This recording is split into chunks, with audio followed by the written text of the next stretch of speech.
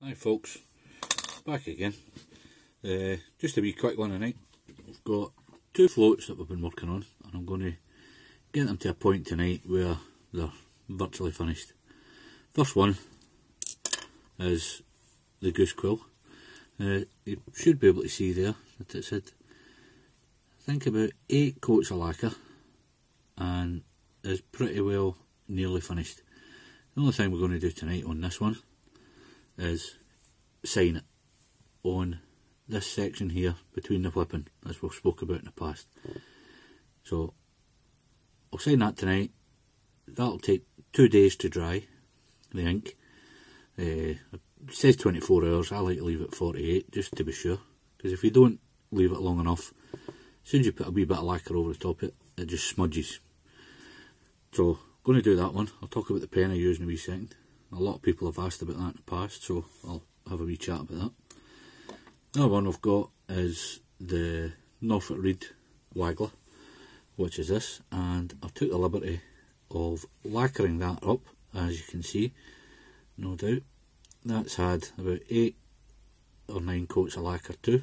I'm going to paint the tip on it tonight, on the, the white section here. I'm going to use an orange paint, again in a kind of traditional colour that I like to use.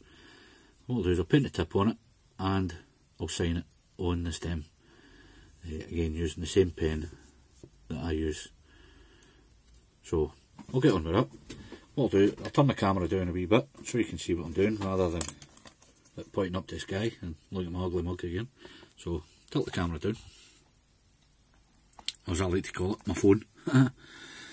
right, this is the pen I use. Uh, it's been asked about quite a few times.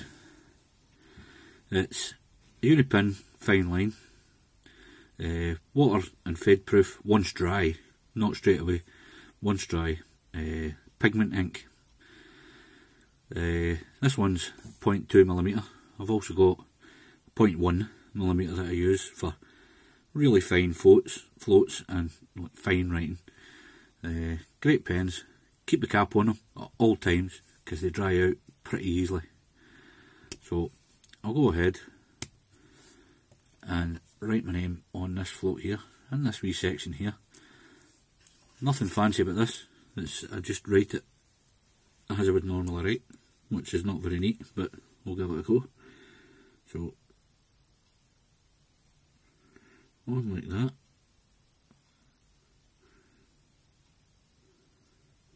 And a wee date. straightforward. Like that. And on it goes. Nothing fancy. So set that one at the side. That'll dry. A couple of days. Two quick coats of lacquer over that. And that's that float complete. Now what I'm going to do with this one first of all cap back the pen so set that there out the road I'm going to paint the orange tip on. I'm going to use an orange paint tonight. Uh, now when it comes to paint, again it's personal choice. I like to use an acrylic, artist acrylic paint. This is the orange I'm going to use. Keep it in a tin, that's two tubes in the tin. Scoosh it in, keep the lid on it nice and tight, should last for donkey's ages. Probably showed you before, but this is the type of paint I use. Get it for home bargains, 99 pence a tube It's a gamboge colour, the other one's just an orange. Other paints you can use for the tips, uh, Revell Aquacolour is the one I like, that's a luminous red. Loads of different colours in that, that's good for body colours and things as well. There's a huge range of colours. There's a black one. Uh, what else have we got here? There's dark, dark green. Again, nice for stems and colours, things like that. Uh, what else is there? Use a lot of greens, different greens. That one's a greenish grey, which is a nice colour as well. Really nice colour actually. They do a few luminous. They do luminous yellow, which is that one. Luminous red, which is this one. And they do a luminous orange too.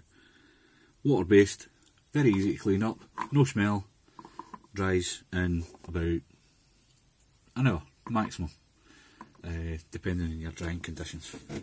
So, as we've done before, I'll paint the tip in this one. As I say, nice and easy.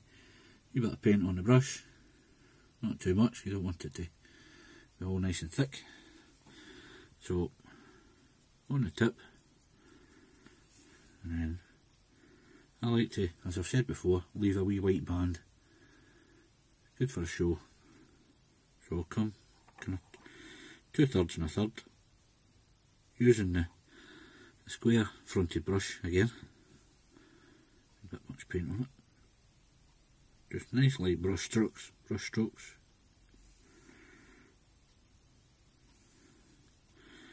Turning the float as we go.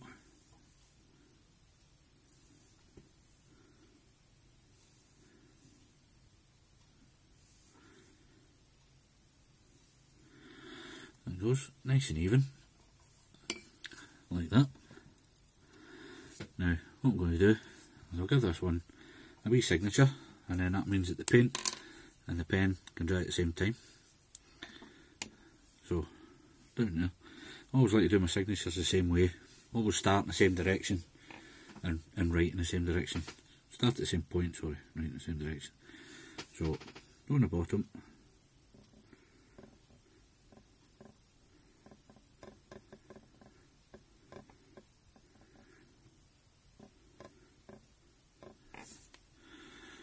Oh on it goes. Nice and easy. And that's as much as I'm going to do tonight. Let them dry. Final bit of whipping on here and here. And then all I've got to do is lacquer the tip and lacquer over my signature. And that'll be two floats that we've started on complete and then got a wee thing I'm going to throw in at the end of the day too. Okay folks, thanks very much for watching. Cheers.